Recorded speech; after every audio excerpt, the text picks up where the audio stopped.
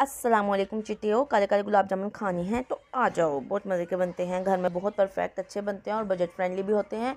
तो मैंने सोचा आपके साथ रेसिपी शेयर करूँ और आज मैं आपको दो से तीन जो अहम पॉइंट्स हैं, जो आप लोगों को महसूस होता है, जी गुलाब जामुन या सख्त या नरम, जो भी आप करना चाहते हैं, मैं आज आपको इसका सिंपल सा फार्मूला बता दूँगी।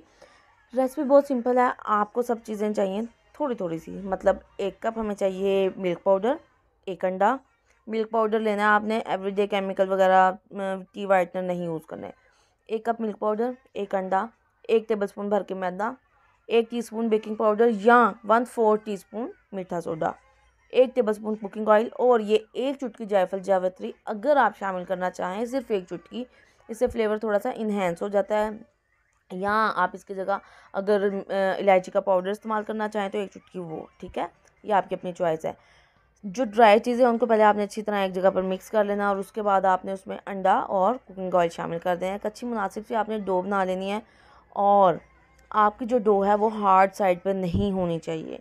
आपकी डो जो है, वो ज़रा नरम होनी चाहिए। अब इस पॉइंट पर जब आप डो बनाएँगे तो आपने ये ध्यान रखना है, अगर आपको ज़रूरत महसूस हो तो आपने एक से दो टेबल स्पून रूम टेम्परेचर पे दूध जो है, वो इसमें इस्तेमाल करना है।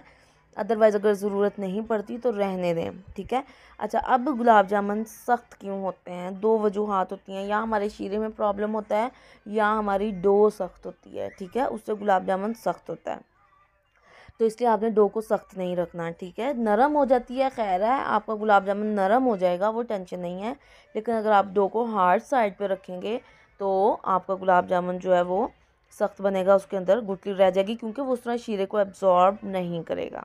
ठीक है ये हो गया एक पॉइंट अगर ज़रूरत पड़े तो आपने इसमें शामिल कर देना है दो से तीन टेबल स्पून दूध। दूध रूम टेम्परेचर पे होना चाहिए और बस इससे ज़्यादा इसमें इस्तेमाल नहीं होगा ये देख लीजिए।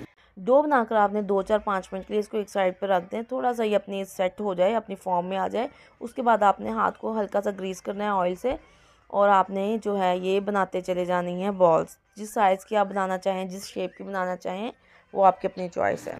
अच्छा गुलाब जामुन बनाने के लिए देखिए मैंने बाउल पास ही रख लिया था। ऑयल जैसे ही हमारा थोड़ा सा गर्म हुआ, बहुत तेज़ गर्म नहीं, आपने ऑयल को कर लेना, ज़रा मीडियम टेम्परेचर रखना है। जैसे ऑयल गर्म हुआ, मैं इसमें बॉल्स बनाती गई और शामिल करती गई। अगर आपकी बॉल्स पे क्रैक्स होंगे तो आपके गुलाब जामुन टूट जाएँगे। उसका लिए होता है, हाथ को हल्का सा ग्रीस कर लें। एक दो दफ़ा आप ग्रीस करेंगे, बाकी फिर आपको ज़रूरत नहीं पड़ेगी। सारे गुलाब जामुन बहुत अच्छे से बन जाएँगे। तो इनको हमने इस तरह से फ्राई कर लेना है। मैंने पहले पॉइंट पर दो तीन फ्राई किए थे और बाद में सॉरी दो तीन मैंने बॉल्स बनाए थे और बाकी मैं ऐसे ही उसमें शामिल करती चली गई थी और हमारे गुलाब जामुन बनते चले गए थे। अगर आपकी स्पीड स्लो है तो आपने जो है बॉल्स पहले से बना लेनी है। अच्छा इस पॉइंट पे आपको अंदाज़ा हो जाएगा आपके गुलाब जामुन फूलने से कि ये किस करतूत के हैं, इन्होंने तोड़ चढ़ना है या नहीं चढ़ना। गुलाब जामुन का इस पॉइंट पे फ्राइंग में ही फूल जाता है काफ़ी हद तक तो अंदाज़ा हो जाता है, ठीक है? तकरीबन जो है ना, ये डबल हो जाते हैं साइज़ में। अच्छा जी इस पॉइंट पे छोटी छोटी बॉल्स देखिए मैं डालती जा रही हूँ और जो हमारे गुलाब जामुन है, तैयार होते जा रहे हैं। ये देखिए, कितनी जल्दी इस पर कलर आता है।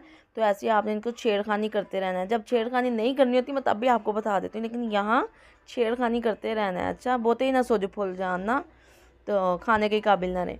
तो बस इस तरह से मैंने गुलाब जामुन फ्राई कर लिए थे और इनको एक साइड पर कर लिया था। एक छोटे से पैन में भी आप ना काफ़ी सारे गुलाब जामुन बना सकते हैं। मतलब कोई कढ़ाई या ये वो ऐसी टेंशन लेने की ज़रूरत नहीं। माशाल्लाह, देखें गुलाब जामुन कितने अच्छे से बन रहे हैं।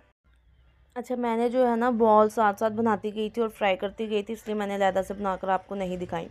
अब आ जाते हैं शीरे की तरफ़। शीरे के लिए मैंने पैन में एक कप पानी लिया, उसमें मैंने शामिल कर दिया एक कप चीनी और दो से तीन इलायचियाँ। अच्छा अब यहाँ मैं बता दूँ, कुछ चीज़ों में हाथ का फ़र्क होता है, कुछ लोगों का।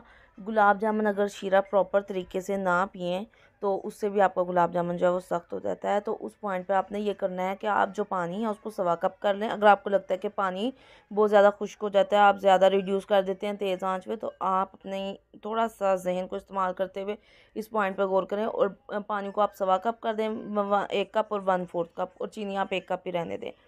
तीसरे नंबर पे ये कि अगर आपको गुलाब जामुन सख्त रहते हैं तो आप उसको एक तो ज़रा गर्म गुलाब जामुन को शीरे में डालें और उसके अलावा आप उसको शीरे में डिप रहने दें कुछ देर पंद्रह बीस मिनट वो खो जाते हैं सेट, ठीक है? टेंशन लेने, घबराने की ज़रूरत नहीं है।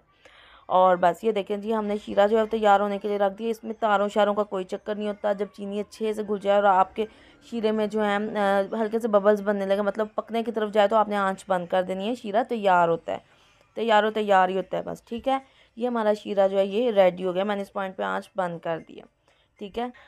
और बस फिर जब गुलाब जामुन फ्राई हो गए तो मैंने इन्हें खीरे में छोड़ दिया। मैंने कहा जा पा रो जी ले अपनी ज़िंदगी। और बस हमारे बेहतरीन से गुलाब जामुन तैयार थे। लेकिन दस पंद्रह बीस मिनट जो है मैंने इनको फिर भूल गई थी। मैं बना के इतनी कुता जाती हूँ चीज़ को कि मैं फिर उसको देखा भी नहीं था। और बाद में मैंने इनको थोड़ी देर फ्रिज में रख दिया था कि ज़रा से ये ठंडे हो जाएँ क्योंकि जिन्होंने खाने थे वो आने वाले थे। तो बस मेरी आवाज़ पे ध्यान ना दें। इस टाइम मुझ पर ड्रोन हमले हो रहे हैं मेरी औलाद की तरफ़ से।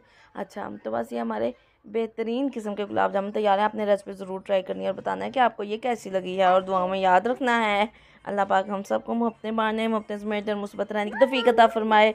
इससे पहले कि मुझे मज़ीद कुछ पड़े मुझे इजाज़त दें। अल्लाह हाफिज़।